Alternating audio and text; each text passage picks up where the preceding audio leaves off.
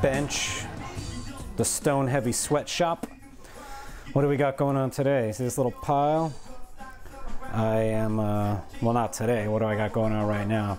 I got these uh, LEDs here for the pedal and um, I got to put on these resistors. By the way, if you're wondering what's uh, jamming in the background, that's Kool G Rap, man. That's some hardcore New York shit, man. It brings back, uh, well, memories. I can't, I can't say if they're good or bad memories of kind of growing up near New York City, but uh, anyway, man, this is this is the jam. Kool G Rap with a K, mind you. Um, look it up. Go pick up some of his work. He's uh, he's pretty hardcore, man. He's pretty awesome. So what am I doing here? I'm soldering on these little resistors uh, to the LEDs. Each LED in my pedal gets its own resistor. Why? Because LEDs are different. I wish I could just have one resistor and connect all the LEDs to one, but truth of the matter is they're gonna glow at different brightnesses. So what do I do? I sit there like a jackass because I got nothing else to do, and I wire up all the LEDs next to each other, and I try different resistor values uh, until A, the brightness level is nice and comfortable. It's not blasting your eyes out or making your pedal board glow like some, you know, fucking uh, switchboard on uh, the USS Enterprise or something like that. You know, you don't want to be at a show and then all of a sudden uh, you, you look like you're playing through a uh, Lite-Brite or something like that, right? And then, uh, but also, you know, it's uh, not just to, and so e each one has a different resistor to even out the brightness amongst the different LEDs as well.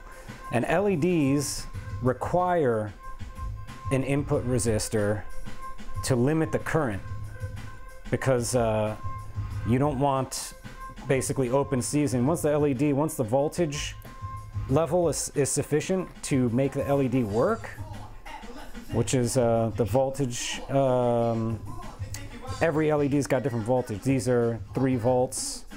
You can get them at whatever voltage, you know, you specify with your supplier. And then uh, once that voltage is met, the current will just rip right through. So without this resistor, the current's just gonna flow through that LED and it's just gonna fry it. So any LED has to have a resistor. So if you're doing any projects on your own and you wanna hook up an LED, just make sure you put a resistor. If you're not quite sure how to calculate it and you, you know you haven't gotten that far and you're just tinkering with stuff, but you wanna have an LED, just throw 300 ohms on there you know something. That that's that's a pretty safe that that will at least limit the resist the um, excuse me limit the current enough that you're not going to blow up your LED and then once you learn a little more you can figure out what value your LED actually requires based on the uh, the specs whatever the the max current is I'm not even running anywhere near max on these which is good it will extend the life of the LED uh, quite a bit so you just got to do a little bit of Ohm's law to figure that out Anyhow. Cool, so yeah, I gotta sit here and do hundreds and hundreds and hundreds of these things, but uh, it's cool, man. I can't really complain. Sit here at the bench, rock some tunes in the background, you know, drink lots of coffee. Uh, life is good. Cool. See you on the next video.